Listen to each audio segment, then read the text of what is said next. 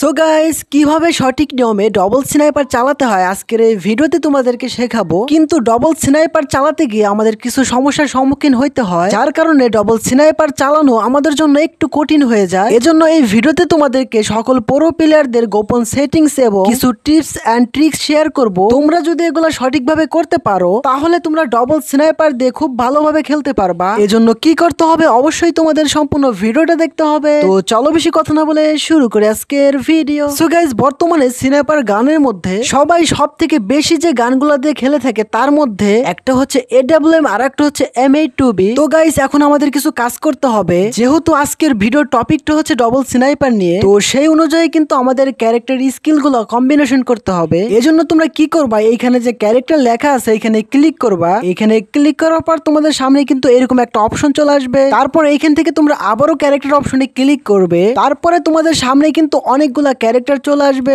এইখান থেকে তোমাদের যেই ক্যারেক্টারটা ভালো লাগে, অথবা গেমের মধ্যে তুমি যেই ক্যারেক্টার দিয়ে সব থেকে বেশি খেলে থাকো, এইখান থেকে সেই ক্যারেক্টারটা সিলেক্ট করবা। আর এইখানে বাকি যে স্কিলগুলো আছে, তোমাদের ইচ্ছা অনুযায়ী কম্বিনেশন করতে পারো, তবে এইখানে একটা স্কিল শুধু খালি রাখবা। কারণ যেহেতু আমাদের ভিডিও টপিকটা হচ্ছে ডবল স্নাইপার চালানো নিয়ে, এজন্য ডবল স্নাইপার চালানোর জন্য আমাদের একটা ক্যারেক্টার স্কিল ব্যবহার করতে হবে। সেটা হচ্ছে আমাদের গেমের মধ্যে থাকা লরা ক্যারেক্টার। এখন কথা হচ্ছে এই লরা ক্যারেক্টার ব্যবহার করলে ডবল স্নাইপার চালাতে গিয়ে আমাদের কি হেল্প হবে সেটাই তোমাদেরকে এখন বলি। গাইস তোমরা স্নাইপার গান দিয়ে যখন গুলি করো, তখন কিন্তু ওই গানটা কাঁপে। আর যার কারণে এনিমিকে গুলি করার পর, ওই গুলিটা কিন্তু এনিমের শরীরে লাগে না। ওই গুলিটা কিন্তু এনিমের শরীরের পাশ দিয়ে বেরিয়ে যায়। তাই তোমরা যদি এই লড়া ক্যারেক্টার স্কিলটা ব্যবহার করো, সেই ক্ষেত্রে তোমাদের অ্যাকুরেসি কিন্তু পঞ্চাশ পার্সেন্ট বেড়ে যাবে। আর যার কারণে যখন তোমরা স্নাইপার গান দিয়ে গুলি করবে, তখন তোমাদের ওই গানটা কিন্তু আর কাঁপবে না। সেই ক্ষেত্রে যখন তোমরা গুলি করবে, প্রত্যেকটা গুলি কিন্তু এনিমের শরীরে লাগবে।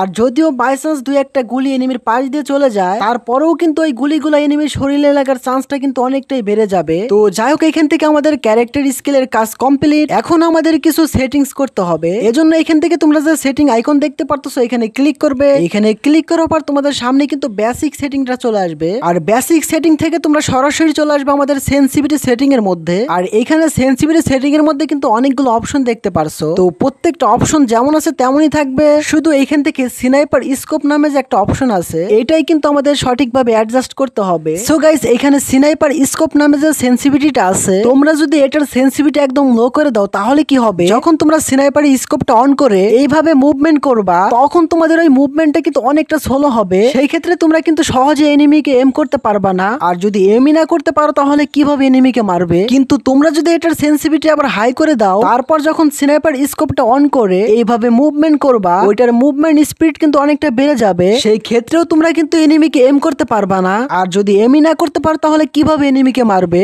এজন্য কিন্তু অবশ্যই আমাদের এই অপশনটা কিন্তু সঠিকভাবে অ্যাডজাস্ট করতে হবে। তবে তোমরা এটার সেন্সিভিটি কিন্তু আশি থেকে নব্বই মধ্যে রাখতে পারো। তবে এটা আমি পঁচাশিতে রেখে দিলাম। আর এটার সেন্সিভিটি এততে রাখার কারণে, যখন তোমরা সিনেপার স্কোপ অন করে এইভাবে মুভমেন্ট করবে, তখন তোমরা খুব সহজেই কিন্তু এনিমিকে এম করে মেরে দিতে পারবা। তো এইখানে আমাদের সেন্সিভিটির কাজ কমপ্লিট এখান থেকে তোমরা চলে আসবা কন্ট্রোল সেটিং এর মধ্যে।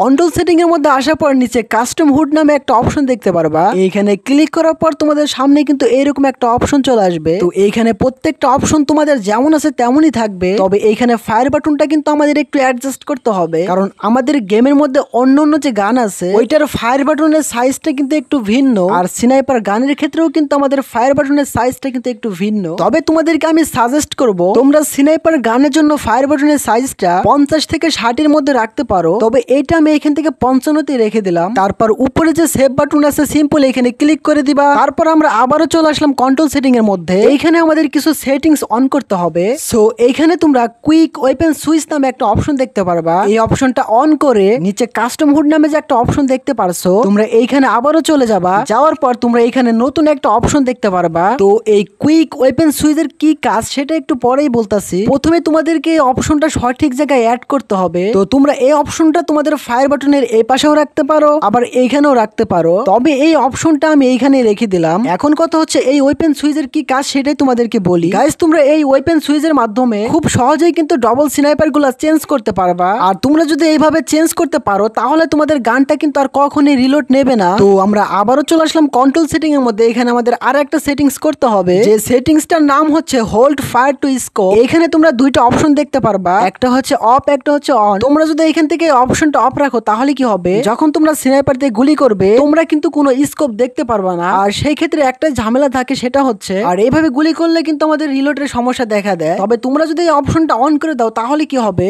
যখন তোমরা স্নাইপার দিয়ে গুলি করবে, তখন তোমরা কিন্তু স্কোপ দেখতে পারবা। আর সেই ক্ষেত্রে তোমাদের লাভ হবে দুইটা। প্রথমে তোমরা এইভাবে গুলি করলে তোমাদের কিন্তু আর গানটা কখনো রিলোড নেবে না। আর আর একটা লাভ হচ্ছে গাইস আমরা যখন স্নাইপার দিয়ে দূরের কোন এনিমি মারতে চাই, তখন আমরা এই স্কোপ অন করে তারপর এই ফায়ার বাটনে ক্লিক করে এনিমিকে মারি। কিন্তু তোমাদের এই সেটিংটা অন থাকার কারণে তোমাদের এত ঝামেলা করতে হবে না। তোমরা শুধু এই ফায়ার বাটনটা একটু চাপ দিয়ে ধরলেই তোমাদের স্কোপটা কিন্তু অন হয়ে যাবে। তারপরে এখান থেকে এম করে ফায়ার বাটনে ক্লিক করলে কিন্তু গুলিটা এনিমির শরীরে লেগে যাবে। তো এখানে আমাদের এই সেটিংটাও করা কমপ্লিট তবে গাইস তোমাদেরকে এখানে আরেকটা কথা বলি। অন্য অন্য গানে যেমন এনিমিকে এম করার জন্য, এইখানে এমন একটা ডট থাকে, যেটা দিয়ে কিন্তু আমরা খুব সহজে এনিমিকে এম করে মেরে দিতে পারি। কিন্তু আমাদের স্নাইপার গানের ক্ষেত্রে কিন্তু এমন কোনো ডট থাকে না। যার কারণে এনিমিকে এম করা আমাদের জন্য একটু কঠিন হয়ে যায়। তো এজন্য তোমরা কি করবা? এখান থেকে তোমরা আবারও চলে যাবা কন্ট্রোল সেটিং এর মধ্যে। কন্ট্রোল সেটিং এর মধ্যে যাওয়ার পর এখানে কাস্টম মোড নামে যে সেটিংটা আছে, তোমরা আবার এই সেটিং এর মধ্যে চলে যাবা। এই সেটিং এর মধ্যে যাওয়ার পর তোমরা এখানে অনেকগুলো অপশন দেখতে পারবা। তবে এর মধ্যে থেকে এইখানে পেট আইকন নামে একটা অপশন দেখতে পারবা। তো গাইজ তোমরা এখানে কি করবা? আমাদের এইখানে যে এম ডটটা আছে, ঠিক এর মাঝামাঝি বরাবর এই পেটের যে আইকনটা আছে এইখানে তোমরা বসাবা। তবে এই ডটটা মাঝামাঝি বসালে কিন্তু ভালো হবে। আর মাঝামাঝি বসাতে গেলে হয়তো একটু সময় লাগতে পারে। তবে তোমরা যদি একটু চেষ্টা করো, তাহলে তোমরা একদম মাঝখানে কিন্তু বসাইতে পারবা। তারপর তোমরা এই পেট আইকনটা একটু ছোট করে একটু হাইট করে দিলেই হবে। তবে এখানে এই পেটের আইকনটা বসানোর কারণে অন্যান্য গানের মতো আমরা সিনাইপার গানেও কিন্তু এম করার জন্য এখানে একটা ডট পেয়ে যাচ্ছি। যেটা দিয়ে কিন্তু আমরা খুব সহজে কিন্তু এনিমিকে এম করে মেরে দিতে পারব। তবে যাই হোক গাইজ ডবল সিনাইপার দিয়ে খেলার জন্য যা যা সেটিং করা দরকার ছিল আমাদের সবগুলো করা মোটামুটি কমপ্লিট সো গাইজ এখন তোমাদেরকে কীভাবে ডবল সিনাইপার দিয়ে এনিমি মারতে হয়, এই বিষয়ে তোমাদের কিছু টিপস অ্যান্ড ট্রিক্স দিব। প্রথমত তোমরা যখন লং রেঞ্জ থেকে খেলবে, তোমরা তখন দেখবে যে এনিমি কোথায় আছে। তারপর এখানে ফায়ার বাটনে হালকা একটু চাপ দা ধরলেই এইখানে স্কোপটা কিন্তু অন হয়ে যাবে। তারপর এনিমির বডিতে এম করে এখানে যে অটো সিজ গান আছে, এখানে ক্লিক করে দিবা। এখানে ক্লিক করে তোমরা আবারও ফায়ার বাটনে ক্লিক করে দিবা। এভাবে তোমরা বারবারই করতে থাকবা যতক্ষণ পর্যন্ত এনিমি না মারা যায়। আর দ্বিতীয়তে বলব তোমাদেরকে এনিমি তোমাদের যদি মিডল রেঞ্জে থাকে সেই ক্ষেত্রে তোমরা কি করবা? তোমাদের যে জয়স্টিকের বাটন আছে, এটা ঘুরাতে থাকবা। আর এই জয়স্টিকের বাটন ঘুরাতে ঘুরাতে তোমাদের